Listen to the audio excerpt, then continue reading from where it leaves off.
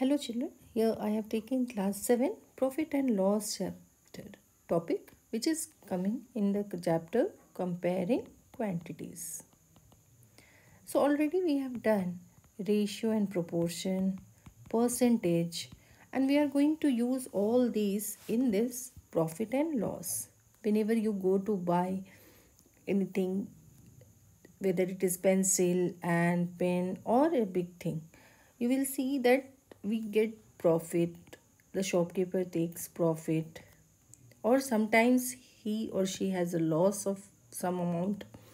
So he, here we have done that what is the profit percent? Profit percent is profit. Profit is what? Selling price sp we write minus cp loss is what? Cp minus sp this already you know that whenever we have a profit then selling price is more.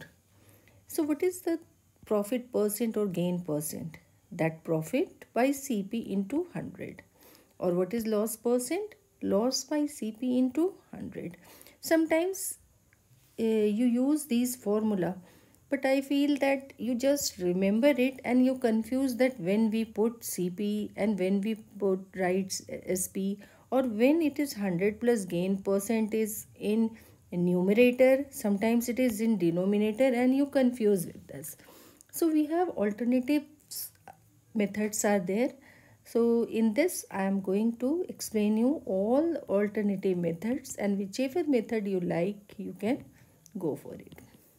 So first of all it is necessary that you understand what is 20 per, if i talk about 20 percent profit what does it mean? Means if my CP is 100, we always take about the percent so that it is uniformity is maintained that 100 rupees में kitna profit.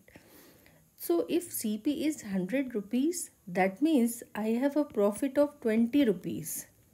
अगर मैंने उसे सौ रुपये में ख़रीदा है और मैं ट्वेंटी परसेंट प्रॉफिट चाह रही हूँ मीन्स हंड्रेड में बीस रुपये मुझे ज़्यादा चाहिए तो मेरा पी होगा twenty, hundred plus twenty that is hundred twenty rupees same way if I have five percent loss that means what अगर मेरा सी पी हंड्रेड है because it is I am taking about percent so percent is out of hundred तो अगर मेरा C P cost price किसी भी चीज़ का हंड्रेड रुपीज़ है तो मैं उसे five percent five rupees loss में बेच रही हूँ। दैट मीन्स अगर मैं बेच रही हूँ तो तो इसे मैं उसे नाइन्टी फाइव रुपीज़ में बेच रही हूँ।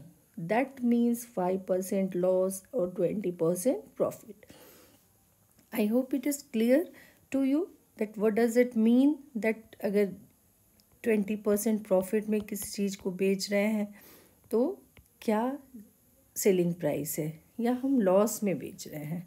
सेम वे अगर मैं कहूँ कि किसी चीज़ को मैं एट परसेंट प्रॉफिट में बेच रही हूँ दैट मीन्स वॉट अगर मेरा सी पी हंड्रेड है तो मेरा S P hundred eight rupees है। That is hundred plus eight मैं हमेशा ज़्यादा में बेचूँगी, मैं कोई भी चीज़ लॉस में जनरली नहीं बेचती।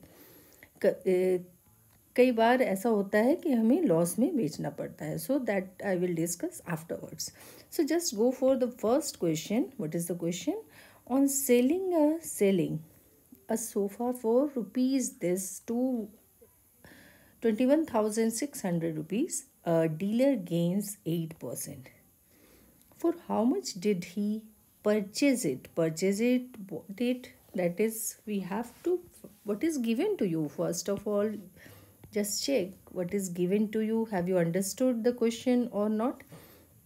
Selling a sofa that means you we have selling price of sofa is given. That is 21600 rupees. And what is profit or gain? Profit percent in percentage is given 8 percent. Clear? So so many methods are there First I show you what is unitary method. You can do by formula method but blindly don't follow, understand the formula and then do it. So unitary method you have done already. Then we use it. So we have to find out CP of sofa. We don't know CP. So just I told that if 100 is CP, my SP is 108 rupees.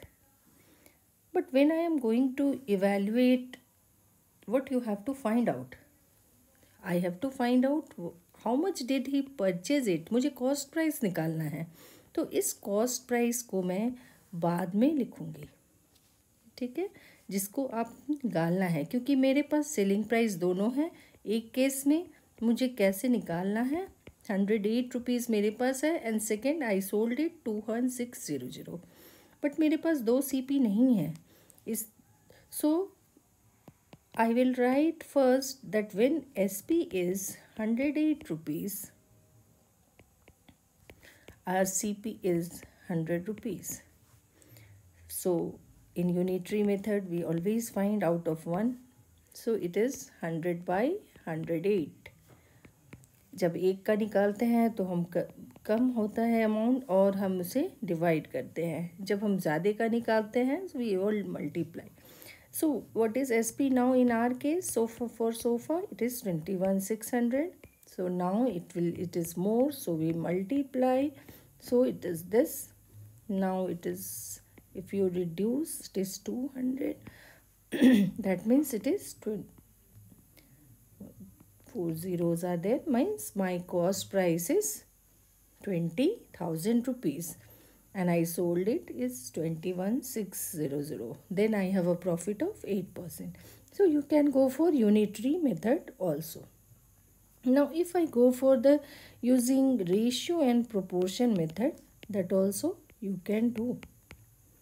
What is ratio and proportion method just आप देखिए कि क्या required है। मेरे पास required C P required S P क्या है? और अभी मुझे किसमें करना है? We have new S P N क्या है? मुझे कैसे बेचना है? अगर हंड्रेड रुपीज़ मेरा कॉस्ट प्राइस है तो हमें eight percent profit that is hundred eight rupees में बेचना है उस चीज़ को। और मैं नहीं जानती कि मेरे, में, मैंने इसे किसने में ख़रीदा था। और इसे मैं बेच रही हूँ two one six zero zero ये अमाउंट है जो रिक्वायर्ड है और मुझे पता लगाना है कि इस तरह के प्रॉफिट के लिए जब मैं एट परसेंट प्रॉफिट में बेच रही हूँ तो मेरा सेलिंग कॉस्ट प्राइस क्या था? So you write plus C P what is required what is S P then what is for in our case what is given as it is not given C P so I will write C P here now all of you know how to simplify ratio and proportion तो मुझे इस proportion में C P को निकालना है जब मुझे eight percent profit चाहिए। It is two one six zero zero into hundred so सभी किसी भी मेथड में आंसर आपका एक ही आएगा पर जो मेथड आपको आसान लगे समझ कर कर पाए उसी मेथड को आप फॉलो करिए तो इस केस में भी हमारा amount selling price twenty thousand ही आया अब अगर थर्ड मेथड की बात करें, जब हम इसे अल्जेब्रिकली सपोज़ करते हैं तो हम क्या करते हैं कि जो मुझे पता नहीं है, मैं नहीं जानती how much did he purchase it so I suppose it that let C P is C P of sofa is X rupees अब एस पी हमारा क्या होगा? एस पी हम क्या कर रहे हैं? इसमें हमें एट परसेंट प्रॉफिट चाहिए। तो एट परसेंट किसका चाहिए? इस सीपी का।